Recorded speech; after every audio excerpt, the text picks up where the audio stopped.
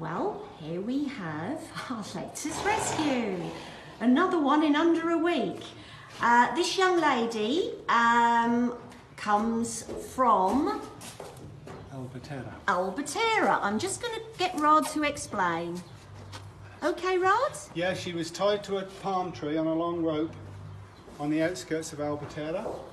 Um, we were found by the police this morning, and these two fantastic young policemen obviously did the paperwork for, for me to transport her, took me to where she was, and helped me get her in the trailer.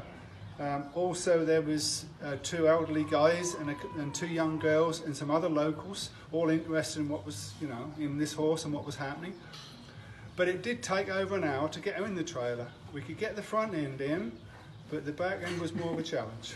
Um, with all sort of persuasion and pushing and pulling and bits of grass and treats and things, she finally gave up and went in and, well, here she is. There she is. Now, apparently, she has no chip or identification or anything at all. So, basically, legally, she doesn't have an owner.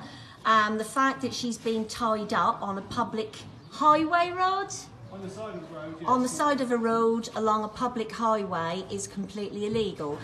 Um, whether or not an owner will turn up trying to claim her at this stage, we really do not know.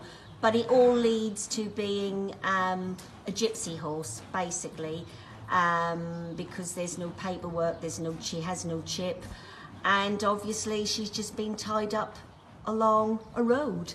But we will see. She could well be in full also. So Dorothy is coming along to check her over and give us a full detail of everything we can find out about her. So that's it for now, and we will keep you updated.